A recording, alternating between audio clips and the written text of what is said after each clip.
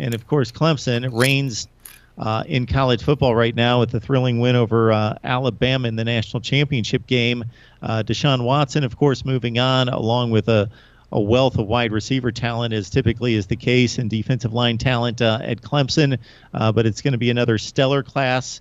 No, maybe it's not in the top five of the nation, but it's it's not not too far behind. So, so Cody, uh, your thoughts about Clemson's class at this point? It's, it's actually it's a really efficient class. It's a good class. Um, only 13 total uh, recruits at this point, maybe 14 at the most. Not a lot, not a lot of late drama going on. But the the per star or the average star rating of the class uh, nets out to the the third overall, uh, uh, just behind Alabama and uh, Ohio State. So a lot of talent in those 13 recruits. Um, it, and it's when you get to a class that's this small, you have to address needs, and I think Clemson's done that uh, at the quarterback position with, uh, like you said, Deshaun Watson's departure. Um, they have Hunter Johnson, a five-star, uh, I guess widely considered the best quarterback in the nation, and uh, he, he's already on campus, so he's he's going to contend for that open uh, open starting position. And then you mentioned uh, the, the wide receivers. So we, we did lose Mike Williams, and we're losing Artavis Scott to the NFL.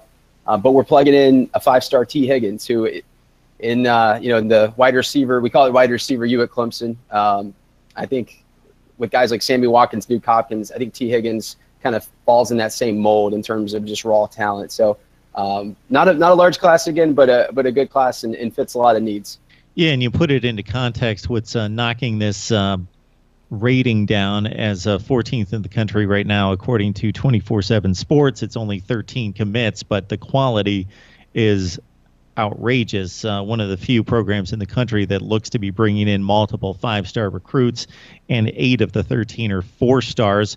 Uh, that defensive front is ridiculous and has been for the last three or four years, and probably gets understated in in the shadow of the wide receiver play and the quarterback play over the last few years. But all you have to do is watch the NFL Combine and see how many guys line up at uh, D tackle and D end in particular from Clemson over the last few years. Uh, how uh, and, and, I know that you lost eight or nine starters from the, the previous team in 2015 and still won the national championship. Uh, how does the defensive side look as well?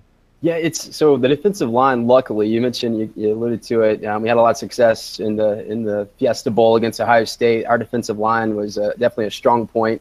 Uh, most of those guys are returning, so uh, we only had one defensive lineman, one defensive end, Jordan Williams out of Virginia who uh, has a chance to hit the two deep, um, a, a, a, really talented player.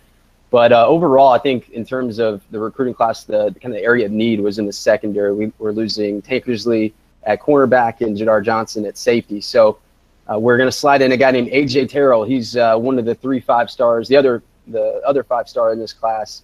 Um, just a, a, heck of an athlete. Um, has track speed, like four three, four four type speed um, 6'2", one of those rangy uh, cornerbacks that the NFL loves so much.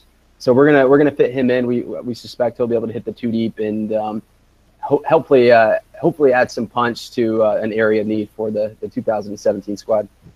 Dabo Swinney has not only gone outside the box, he's basically uh, taken the box and torn it up and thrown it away in terms of the approach uh, of college football coaching and building a community of family there at Clemson. It's pretty impressive to watch, and he shows that uh, you can uh, gain and build relationships with these players and still uh, win at the highest level. And uh, the teams that and programs that he has left in his path, not just this season, but over the last few years, you're looking at a string of national champions and elite programs there at Clemson. So.